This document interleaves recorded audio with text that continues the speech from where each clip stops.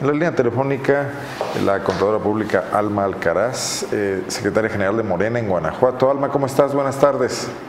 Muy bien, muchísimas gracias Arnoldo. Muchas gracias este, por esta llamada. Un saludo a ti y a todo tu auditorio que te sigue diariamente. Gracias Alma, pues a ti por darnos tiempo, porque sé que estás ocupada. Tuviste rueda de prensa hace unos momentos. Y bueno, preguntarte, eh, específicamente sé que hablaron sobre el gasto publicitario de Márquez durante pues, la temporada previa a las elecciones 2016-2017. ¿Cómo, ¿Cómo, vieron estas, esta, esta información derivada de la cuenta pública de Guanajuato?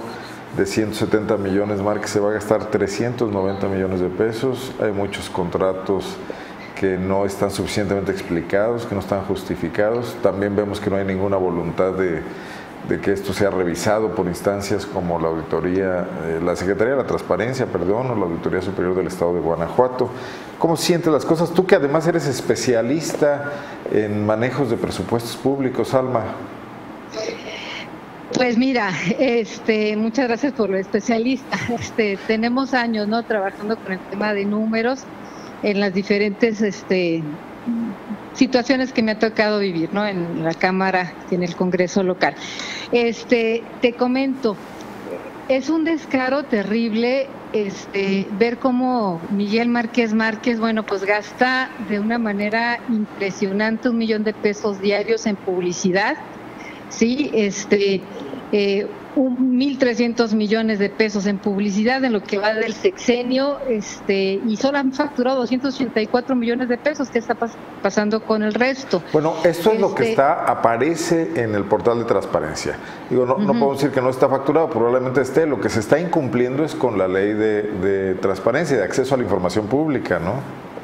Pues el hecho de no estar, este, Arnoldo, ante la opinión pública, ante, ante transparencia, realmente se dudaría mucho de que existiera o de que existiera bien, ¿sí? Eso es lo que eso es lo que yo opinaría, porque digamos que el que nada debe nada teme, ¿no?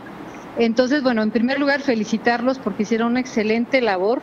Este, obviamente esto les tuvo que haber llevado tiempo, estar este, solicitando información, etcétera, etcétera. Muy bien la, la información. Y algo que me llama mucho la atención de lo que ustedes también están aportando, el gasto en comunicación social creció un 274%, por Dios, el gasto en salud el 9%, solamente en educación el 6%, en seguridad el 9%, en justicia el 4%. Y 274, pues vaya que es una más que burla esta situación, ¿verdad? Este para todos los guanajuatenses. Este hay que recordar que Peña Nieto, este, se le llegó a revisar también su gasto en publicidad, pues él gastaba un millón de pesos a la hora, cada hora. Tenía más dinero que Márquez. Así es, ¿no? Entonces, como bien. Pero a ver, Alma, te hago una pregunta. te hago una pregunta, permíteme nada más. A Peña Nieto no le funcionó. O sea, eh, en las, en las elecciones fue eh, la ciudadanía y lo castigó. Pero a Márquez sí le funcionó. Márquez ganó las elecciones en Guanajuato todavía por un margen importante. Él mismo lo presumió el día de ayer. Cuando le preguntamos dijo, bueno, pues ahí están los resultados, ganamos las elecciones. O sea, bueno, pues no le pues puedes pedir más, más claridad o cinismo, ¿no? Es un descaro tremendo, es un cinismo totalmente, este, porque te voy a decir algo, este, Arnoldo, se les olvida muchísimo a nuestros gobernantes que el dinero que están utilizando y el dinero que administran no es dinero de ellos, ni tampoco dinero para que se perpetúen en el poder. Es un dinero que, es, que debería de ser utilizado para el beneficio social, para el bien de todos los guanajuatenses y no para que se enquiste un grupo en el poder como descaradamente lo dijo Márquez Márquez. Yo creo que el cinismo y la sinvergüenzada ya llegó a un grado mayor en nuestro estado este, él mismo anuncia también que no va a buscar la gubernatura, o perdón, eh, la, la presidencia del PAN. De, la dirigencia nacional del PAN, este, y que bueno, espero que la vergüenza en algún momento le haya, le haya pegado, ¿no? Aquí yo creo que es bien importante, Arnoldo, este, esta iniciativa que está pendiente en el Congreso de la Unión, donde la Suprema Corte de Justicia de la Nación este, estuvo de acuerdo con el artículo 19 y le pide al Congreso de la Unión o le exige que para el 18 de abril del presente año pues se, se defina este, y se legisle en este tema, ¿no? Y que se regule el gasto en medios de comunicación. Hay una falta de regulación en la publicidad oficial sumamente grave y eh, constantemente estos eh, virreyes, este, que son los gobernadores, están abusando constantemente de eso, como lo hizo en su momento Peña Nieto. Este, el monto que se destina es grandísimo. Pero además aquí lo que, lo que parece ser más grave es la opacidad con la que se ejercen estos recursos, porque resulta que de aquí no nada más es el tema de que está gastando mucho para generar publicidad él o Diego Sinué, sí, que creo que también en su momento se fue beneficiado de este tema, sino que más también está implicado aquí el tema de los de las empresas fantasmas, este, donde existe obviamente una manera de lavar dinero y una manera de sacar recurso público a través de estas empresas fantasmas, ¿sí? Que es este lo que lo que estuve revisando, pues todo indica que es esto, ¿no?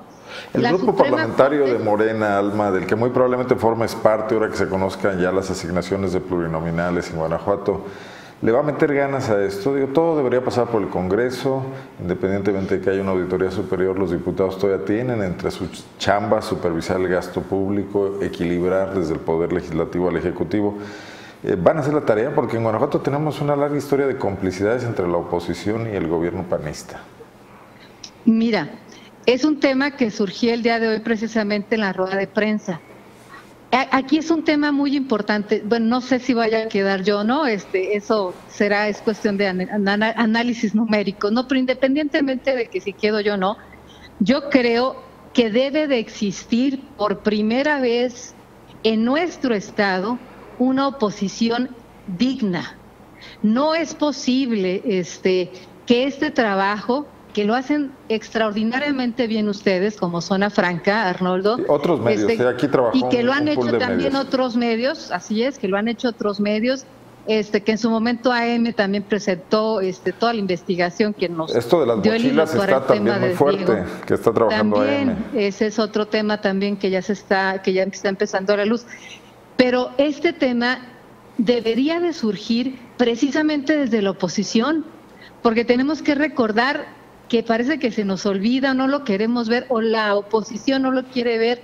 El Congreso local y cualquier Congreso debe de ser el contrapeso del Poder Ejecutivo, porque entonces pierde sentido el, el hecho de que exista un Poder Legislativo.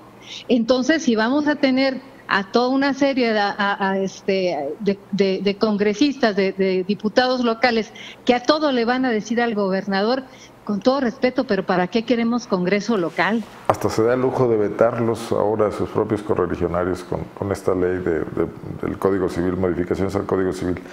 Oye, hay preocupación porque a nivel nacional, eh, Morena, que tiene mayoría en las cámaras y sus aliados también, puedan caer en ese mismo vicio hacia López Obrador. Pues mira, yo esperaría que de ninguna manera esto suceda porque finalmente pues, Andrés Manuel López Obrador llega este, con una línea muy clara, ¿no? Este, siendo una oposición y una oposición muy fuerte, muy férrea, esa es la única oposición que le dice sus verdades al gobierno, porque sabemos que Ricardo Anaya en su momento negoció con Peña Nieto y después se quería pelear con Peña Nieto, este, y es como que como le va conviniendo, ¿no? Por eso ya el, el pobre joven este maravilla, bueno, pues se, se, se, dio un golpazo y realmente no superó ese, ese gran golpe que de tantas mentiras, ¿no? Yo creo que Andrés Manuel tiene muy claro, sí, Ricardo Anaya. Este, yo creo que Andrés Manuel tiene mucho muy claro este que es en la oposición precisamente y es en la crítica donde se tiene que formar este y, y donde se tiene que alinear todo el tema de gobierno público federal. No es en el sí, mi señor, o incluso hace días veía uno de sus, de sus videos cuando habla con los, con los nuevos congresistas y cuando habla con los nuevos este, presidentes municipales, cuando les deja muy claro, no, no se hagan rodear de gente que les va a estar diciendo que sí a todo, ¿no? ¿Qué hora es? La que usted diga, señor presidente. Esa línea no es la que está persiguiendo Andrés Manuel, ni es la que está persiguiendo Morena. Lo que se está persiguiendo es lo que sea mejor para este país, lo que sea mejor para el gobierno del Estado de Guanajuato, lo que sea mejor para los guanajuatenses. Entonces, en esta misma línea, este, Arnoldo, es muy importante dejar claro que tiene que haber una oposición real y verdadera en el Congreso del Estado.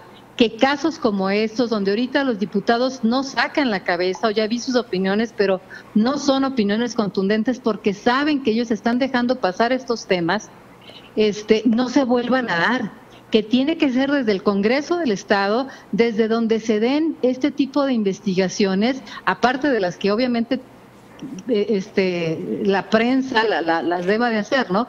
Pero es en el Congreso del Estado donde deben hacer todo ese tipo de inquietudes de protección. Lo que tú hablabas de los sobreejercicios. O sea, tú puedes presupuestar con un rango de, de error, o sea, un 9%, 10% de ampliación presupuestal para cumplir tus metas, pues parece razonable, parece explicable. Un 170 o 150% ya no ya ahí aparece haber dolo, parece que a los diputados les informaron una cosa y en la práctica se hizo otra, o parece que en el camino decidieron hacer las cosas distintas por urgencias políticas y entonces el Congreso pierde su función. Es una burla que apruebes un presupuesto y el presupuesto que termina aplicando el Ejecutivo sea dos y media veces mayor, ¿no? Es correcto, nada, nada que ver. Este, y esta es una crítica de toda la vida de los congresos, ¿no?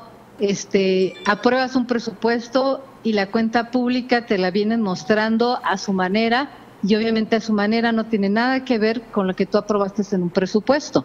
¿Sí? Este, pero todo eso tuvo que haber pasado, como bien dices, por el presupuesto de, por el presupuesto de egresos en primer lugar, pues ya vimos el aumento que tuvo. Este aumento tuvo que haber pasado por el Congreso del Estado. No es posible, de verdad, que se les estén metiendo tantos goles o que nos estén metiendo los guanajuatenses tantos goles y que no tengamos representantes que nos estén defendiendo en el Congreso del Estado, Arnoldo. Cuidado, cuidado, Alma, porque a ustedes ya les tocará pronto y ojalá, ojalá estas críticas de hoy se traduzcan en actuación, ¿no? Es que se tiene que hacer, como te comentaba hace días. Muy, muy atentos. Y de que, y de que no se, y si no, pues como te decía, realmente eh, no tendría caso que estén en Morena, ¿no? A nivel nacional se están proponiendo ya reducciones importantes de presupuestos, de sueldos. El Congreso de Guanajuato es de los mejor pagados del país. Los diputados de Guanajuato son creo que el segundo después del Estado de México. ¿Propondrán ustedes también? Y bueno, y además con un edificio impresionante que cuesta muchísimo el mantenimiento, una, joya arquitectónica ostentosa. ¿Van a plantear ustedes algún ajuste, algún recorte? Sí, seguramente que sí. Este, ahorita, bueno, como tú bien dices, no se sabe todavía los diputados quiénes van a ser, quiénes no, pero en cuanto se tenga la seguridad, yo creo que ese es uno de los principales temas que se habrá de tocar. Te defino el Congreso local. El Congreso local, y con todo el respeto, no es para nadie en especial, ni es un tema personal, pero es como se ve. Es un Congreso muy flojo, son los de los pocos que únicamente sesionan los jueves Normalmente se sesiona dos veces a la semana. Son de los congresos que menos iniciativas presenta y son de los congresos que más gasta a nivel nacional. Y además es sumamente opaco. Razón para meterle mano alma. Vamos a estar atentos ¿no? a lo que pase después del 25 de septiembre, que llega la nueva eh, conformación de la Cámara de Diputados, donde Morena será la segunda fuerza política. Y mientras tanto, pues aquí platicamos un día pronto, ¿no? En el estudio sobre cómo se vienen las cosas. Claro que sí, sobre todo este también estuvimos manejando algunos datos de la Auditoría Superior de la Federación. El 29 de junio este pasado, el Auditor Superior de la Federación este, entregó su primer informe del 2017. Sí. Este, y bueno, también trae ahí varios temas interesantes. Claro, hay siete auditorías, de las cuales se desprenden 17 acciones entre ellas dos pliegos observaciones, que son las graves, siete responsabilidades administrativas, tres solicitudes de aclaración, cinco recomendaciones y este, a grandes rasgos, si quieres luego lo platicamos con más calma, pero este, se distingue claramente un, jineteo de dinero. De dinero federal. Así es, casualmente este, 9 millones 218 mil 400 pesos son depositados en cuentas propias. ¿Cómo, cómo, cómo? de personas. Sí, sí, sí, sí, sí, sí, sí. no dice el nombre de estás dando una gran exclusiva y, los nombres que aparecen ahí, ¿quiénes son? no, no, no aparecen nombres, no aparecen nombres, pero este, eh, así te dice, se fueron a cuentas propias. Esto es público, esto está en internet. Sí, por supuesto, ya les di la liga este, a las a las chicas. A, las reporteras de Zona Franca. Muy bien, pues lo vamos a investigar, me parece muy interesante. Bueno, estamos en contacto y además Pero aparte, déjame nada más platicarte lo otro. Hay otra gran cantidad de dinero este, que se va, casualmente se lo depositan a un contratista por equivocación. ¿El nombre? No, lo, no, no te lo da la Auditoría Superior de la Federación. No, estamos hablando aquí de 14 millones de pesos. Entonces aquí hablas... Y lo pues, reintegra después de, que Lo reintegran porque la Auditoría Superior de la Federación hace la observación. Entonces era lo que le comentaba yo a los jóvenes. Son siete auditorías nada más las que se hicieron en esta ocasión. Vienen 20 más, ¿sí? Pero recordemos que es una, una simple muestra de lo que sucede en todo el gobierno del Estado. Entonces, ¿en dónde más hubo esta extracción de dinero o este jineteo de dinero que después regresan, ¿no? Pues sí. Y bueno, están hablando que por error. Bueno, lo vamos a revisar, lo vamos a revisar para publicar una nota con lo que nos dices del informe de la Auditoría Superior.